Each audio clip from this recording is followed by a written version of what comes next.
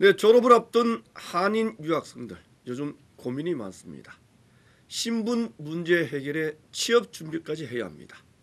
또 최근에는 취업이 잘 되는 전공으로 과를 바꾸는 전과가 유행하고 있다고 합니다. 김민우 기자입니다. USC 대학 역사학과에 재학 중인 유학생 김모 씨. 몇 개월 앞으로 다가온 졸업을 앞두고 고민이 이만저만이 아닙니다. 김 씨는 전공을 경제 관련 분야로 전과를 심각하게 고려 중입니다.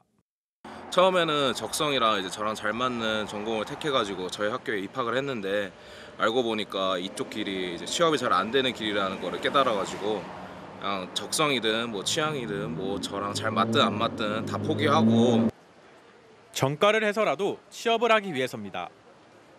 최근 들어 김 씨처럼 과를 바꿔 공부를 더하는 전과가 유학생들 사이에 유행하고 있습니다. 컴퓨터 관련 전공이 가장 인기입니다. 더구나 스템 분야 전공자는 OPT, 즉 졸업 후 실습 기간도 3년이나 돼 유학생들의 전과 시도는 더욱 늘어나고 있습니다.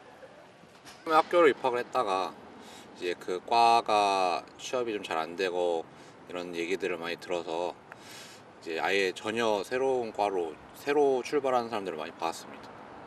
아무래도 전과를 하는 이유가 이제 졸업을 하고 취업이랑 이제 연관을 지어서 취업을 할 때 조금 더 유리한 과로 들어가서 졸업을 하기 위해서 이제 전과를 한다고 저는 생각하고요.